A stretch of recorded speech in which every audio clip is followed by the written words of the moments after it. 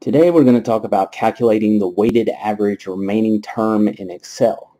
In this example we have a loan portfolio, we have a field for the loan ID, loan balance, and remaining term in months. And what we'd like to do is get a weighted average remaining term for this entire pool of loans.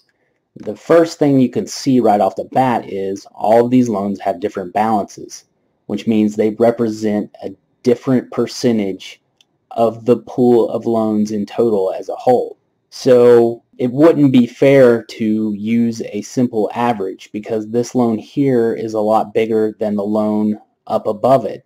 To get a weighted average in Excel, the best route to go is to use the SUMPRODUCT function because the SUMPRODUCT function multiplies the values in two parallel arrays by each other and then sums the total of all of those individual products.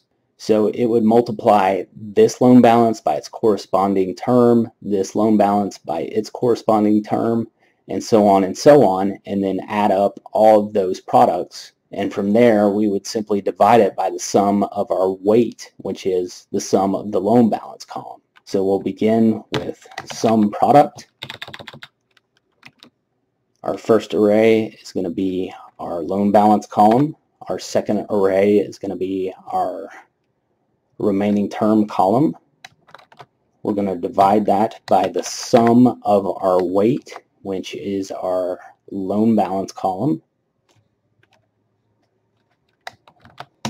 You can see that gives us a weighted average remaining term of almost 215 months. And if you want to double check this, what you can do is manually just multiply all of these values together add them up and divide them by the sum of our total loan balance. So now we'll divide this figure by this sum of our total loan pool, which I have up here in this cell.